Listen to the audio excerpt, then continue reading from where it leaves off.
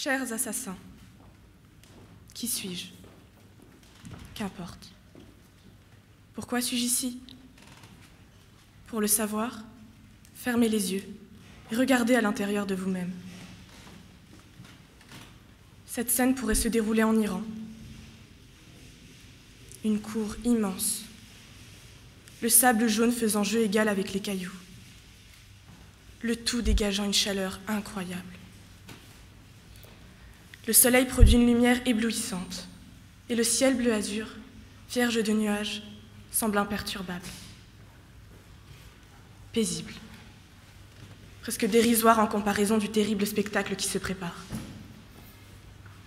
Un spectacle Que dis-je Mon ultime représentation, devrais-je ajouter. À une dizaine de mètres, s'ouvre une gueule béante, un trou noir et profond dans le sable. Le tombeau où je vais être enterré presque intégralement avant ma lapidation.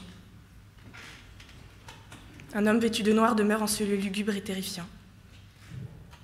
Il porte une cagoule perforée de deux trous pour ses yeux.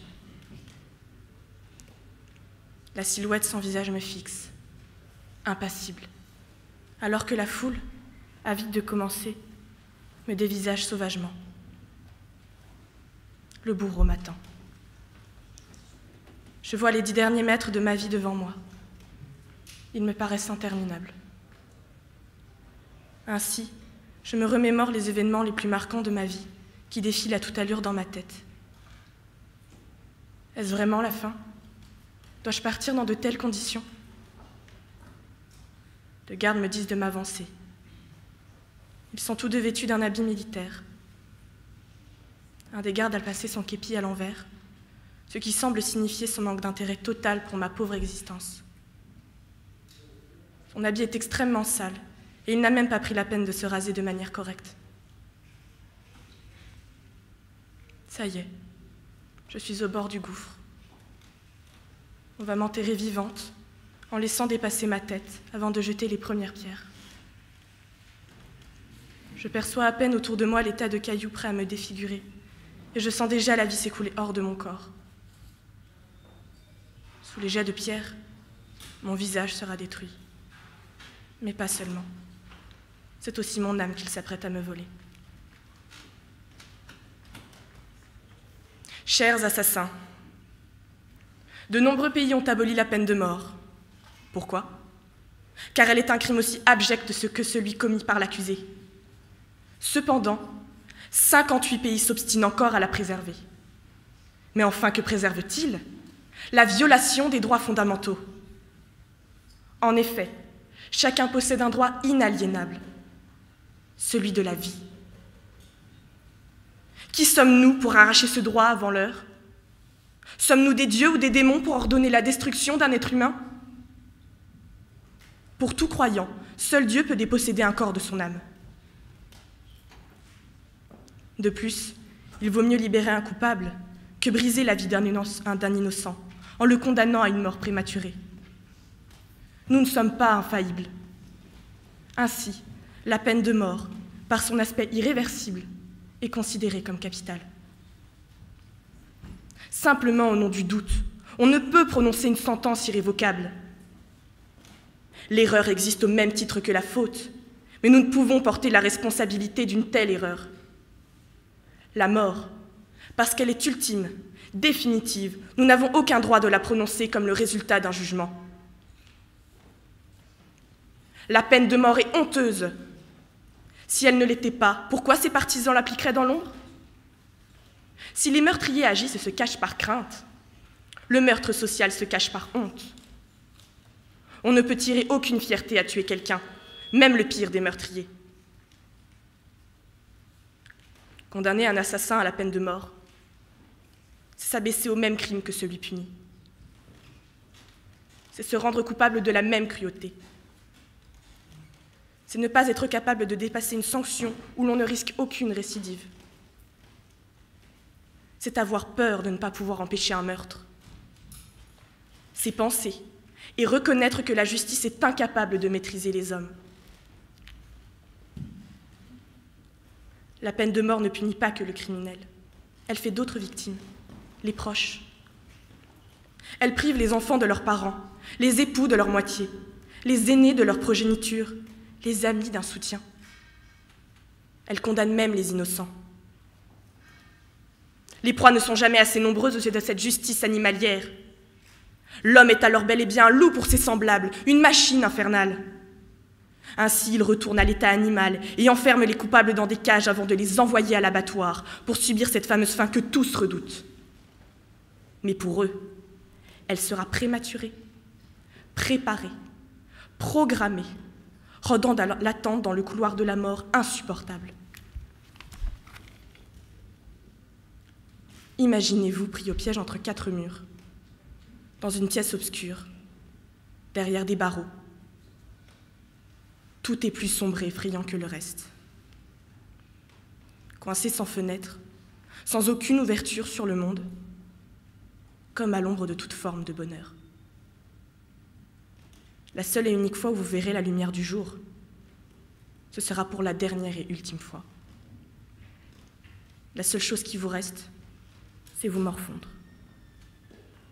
Et lorsque vous avez enfin retrouvé la paix intérieure, la terrible réalité refait surface et vous plonge dans un profond désarroi.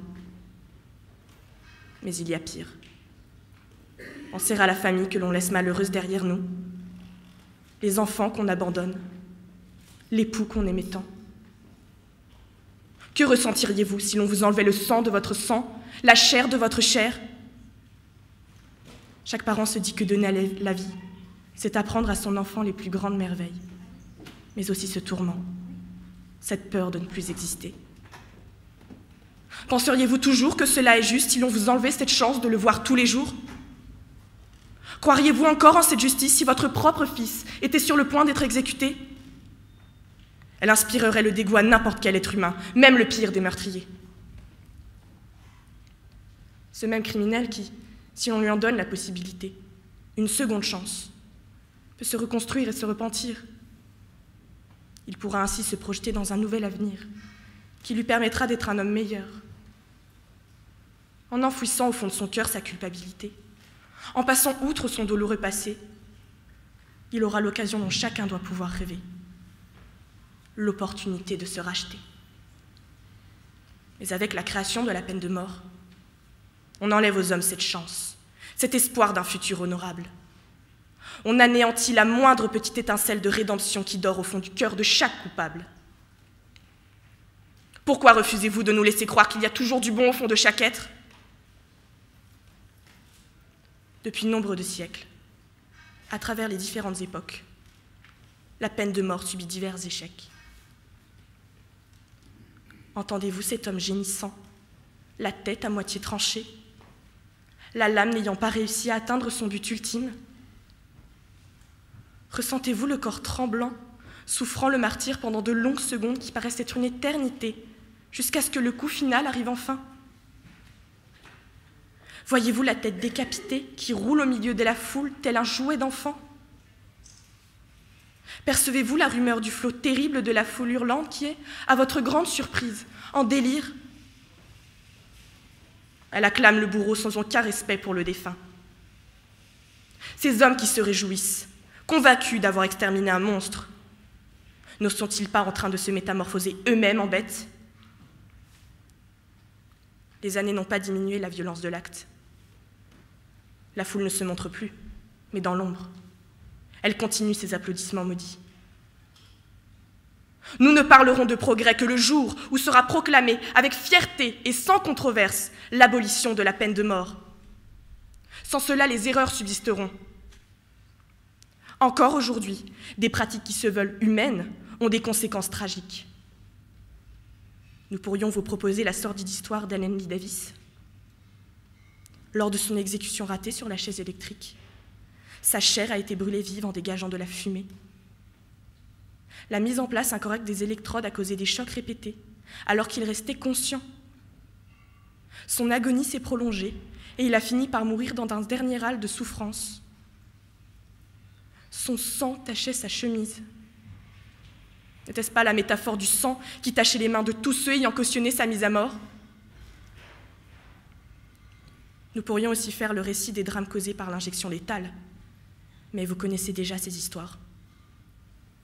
Par contre, savez-vous que dans bien des pays où la peine de mort existe, il est quasiment impossible de trouver les chiffres exacts? Savez-vous que plusieurs États refusent d'évoquer le sujet en se dissimulant derrière des prétextes fallacieux? Savez-vous qu'au sein même des pays, la question divise La vie et la mort ne peuvent être réduites à des séries de nombres imprécises, à des contingences matérielles, à des lois particulières. Ce sont des valeurs universelles qui méritent une décision universelle prise par tous les hommes sans distinction aucune, quel que soit leur pays d'origine, leur race ou leur religion.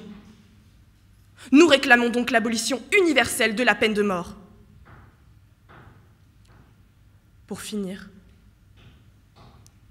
nous vous demandons de fermer les yeux et de vous imaginer dans ce fameux couloir de la mort. Penser à ses proches sans pouvoir les voir. Réfléchir à la façon dont on va perdre la vie. Savoir que ce sont des hommes qui ont dicté cette loi et prononcer ce jugement. Ne dit-on pas qu'il faut profiter de chaque moment comme s'il était le dernier Et si vous étiez à leur place, camperiez-vous toujours sur vos positions? Et si c'était vous?